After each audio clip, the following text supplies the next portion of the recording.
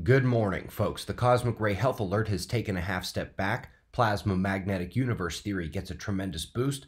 Rapid DNA change witnessed on Earth and super flares at exoplanets. But we're starting with spaceweathernews.com and finding the last 24 hours, yet another quiet day on the sun. Our star is presenting no sunspots. It had no major eruptive events, dark coronal holes to hit center circle today. The solar wind remains very quiet with a tiny rise in plasma density at the turn of the day, kicking the KP index to 1 for a few hours. The top space weather health alert is over for the time being, cut to a moderate level, but the cosmic ray alert still does exist and we'll need to have eyes on it throughout the day for re-intensification. Below this video, you can click a link to find out what to do about space weather health alerts. Turns out there is a lot you can do. Let's also eye the lithosphere today. While the solar wind from the coronal hole won't arrive for at least another day, we magnetically connect to it before that, and the earthquake and volcano watch are climbing higher throughout the day. So let's go to the exoplanets. The speculation about close orbiting planets around red dwarf stars appears to be correct.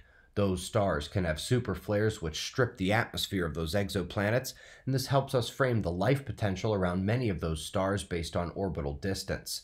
Now, speaking of distance, the universe is a vast arena, but it is not empty. Between the galaxy clusters lies a web of interconnectedness, magnetic fields pervading every structure and flow, and the Biermann battery effect, based on plasma density and charge differential, already thought to have created the seed fields of the universe, now thought to create the major events that mainstream calls magnetic reconnection.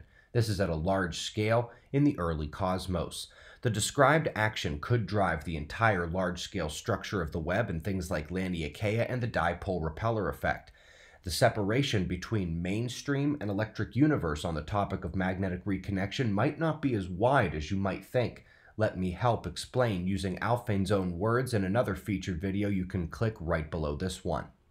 Lastly, folks, Burmese pythons. One terrible winter in Florida, unprecedented biological stress and the genome of the pythons has changed.